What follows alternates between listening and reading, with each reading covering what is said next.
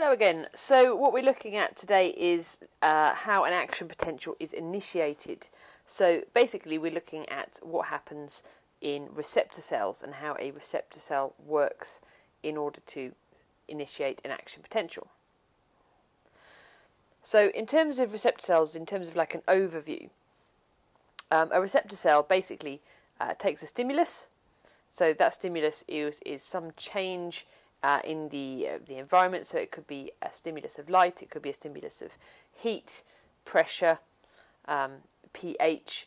It could be uh, in the presence of various chemicals, so various ions. Um, and that stimulus then will be detected by the receptor cell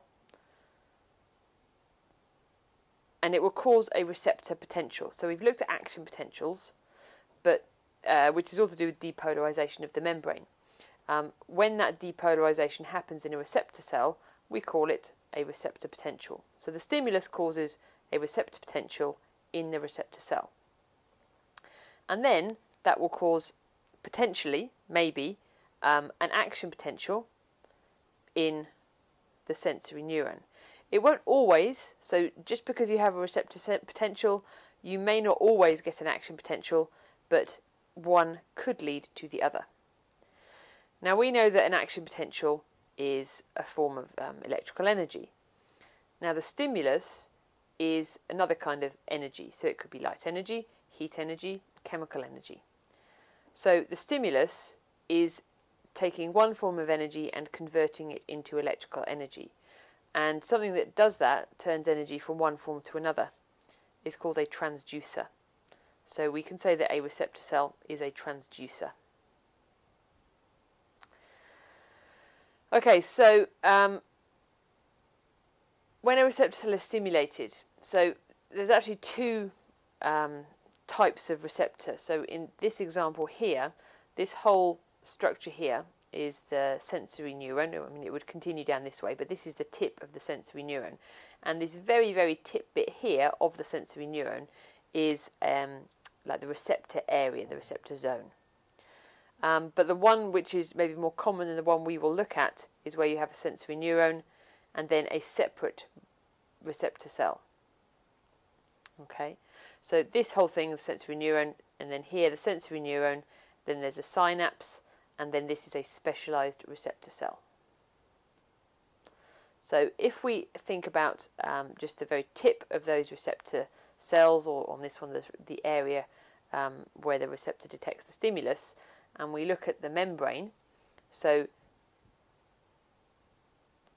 in the normal resting state, you'd have a minus 70 millivolts resting potential. So this is outside of the cell, and this is inside the cell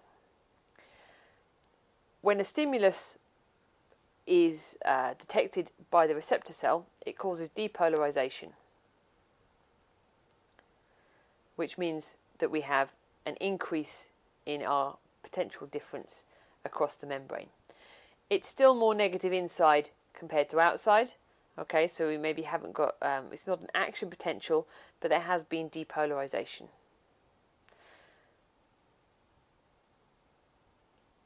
So when a receptor cell becomes depolarized, um, what we want to think about is how that then links to an action potential. So this graph here, as you can see, we've got strength of stimulus and then the size of the receptor potential. There, there are no units on there. Um, it's just a, a, graph to show the relative, um, like what's happening in relative terms. So obviously when there's no stimulus, the receptor potential would be zero. But then as you increase the stimulus, the receptor potential increases. So the amount of depolarization increases. Just as when we've talked about action potentials, receptor um, membranes have a threshold level. Now if we look at another graph, and we look here at our um, the, the action potential graph that we're familiar with, um, if I just add on to this, so we've got time along the bottom there. So at the moment, the receptor potential is below the threshold. And the voltage um, in the sensory neuron, okay, is at our resting potential. So this is what's happening in our sensory neuron. Okay, that's what this graph is showing. And this graph here is showing what's happening in our receptor cell.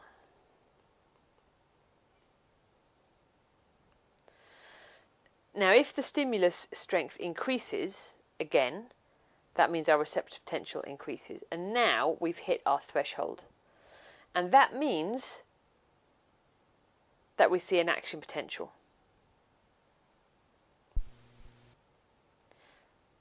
So the stimulus has caused enough depolarization in the receptor cell to reach the threshold receptor potential, and that has then triggered an action potential in the sensory neuron. Now, what about if the stimulus gets even stronger? So we've got stimulus strength here. What if the stimulus strength increases? Well, if that happens, oh, hang on, sorry. Um, okay, so sorry. If the um, if the strength of stimulus increases further, then the receptor potential again has increased. It's above threshold, which means there will be an action potential. But what's important is the size of the action potential hasn't changed. This time we just see more frequent action potentials. So the voltage here, the maximum voltage, is the same when you've got a receptor potential here and when you've got a receptor potential down here at threshold. The size of the action potential is the same. The difference is that we've now got a stronger stimulus and a higher receptor potential, so the frequency of the action potentials is greater. If we increase the stimulus even more, it would just become more frequent. And this is called the all or nothing law. So if we see we've just increased the stimulus strength again, and the action potential is just even more frequent. So all or nothing, that means that if there is, uh, if the receptor potential is high enough to generate an action potential, i.e. if the receptor potential is above the threshold, then an action potential will always be produced and it will be the same size. That's the all part. So either the action potential is at its maximum size, or there is no action potential. There is nothing in between. Um, the receptor potential can't just get bigger and bigger and bigger. At some point, the strength of the stimulus um, will not cause any increase in the receptor potential, and that will just plateau. Okay, so we want to look now at how the action potential is actually generated. So the example we're going to look at is in the tongue, in the taste buds. So if you imagine this is like a cross section of the tongue, um, and this is a taste bud, and in the taste bud there are lots of receptor cells. So I'm just showing you three here. So three separate receptor cells, which are then connected with a synapse to three sensory neurons. And these are chemoreceptors, which means that they are going to detect the presence of different chemicals. Um, and the example we're going to look at is actually sodium receptors, salt receptors. So sodium chloride is that regular table salt. It's in lots of the food we eat, um, and of course it will dissociate into sodium and chloride ions. So in this example, these receptor cells here detect the presence of sodium ions um, that are in the food that we eat. So I'm just using these pluses to represent the sodium ions. So these aren't just any old positive charge. These are all sodium ions from the food that we eat. And obviously some of those sodium ions are going to come into contact with the receptor cells here. So if we look at one of those receptor cells there in detail, we've got our sodium ions, and we're going to look at this section of the membrane. And we know that to begin with, so this time I'm just drawing, so, so this is the membrane, so this is outside um, up here, and this is inside the receptor cell. So we know that at the moment we're at resting potential, so it's more negative inside than outside the membrane.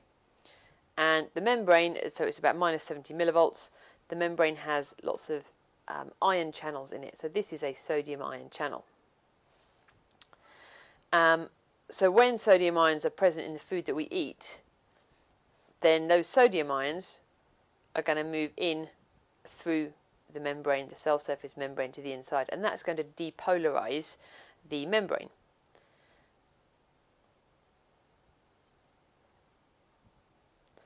And obviously, if there's enough depolarization, then you know, as we've looked at before, other voltage gated channels can open, um, and our depolarization, depending on the size of it, can then cause um, the next stage to take place.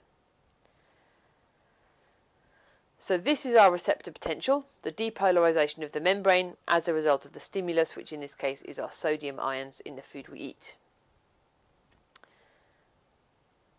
Now, further down the membrane, there are um, other channels in the membrane. So we've got calcium channels, and these are gated and they are voltage gated. So this is a calcium channel, and depending on the voltage, this gate will either be closed or open.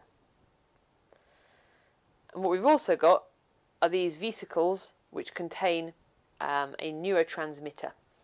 So what we're about to talk about is basically what happens at all synapses. The depolarization, the receptor potential, causes a change in voltage. Obviously, that's what depolarization is. And that depolarization, that receptor potential, makes the calcium channels open. There's a high concentration of calcium ions outside cells and a low concentration inside. So, of course, calcium is going to diffuse into the receptor cell.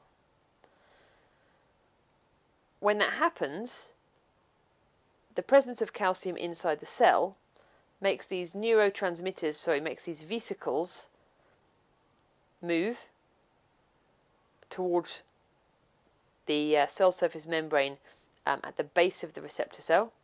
And when they get there, they fuse with the membrane, and all those neurotransmitter molecules move out by exocytosis. When that happens, that causes an action potential in the sensory neuron. So, what we've just seen is how depolarization up here as a result of a stimulus causes a receptor potential. That receptor potential causes calcium ions to move into the membrane further down the receptor cell, which makes vesicles move and release neurotransmitter, and that then triggers an action potential in our sensory neuron. And that's it. Thank you.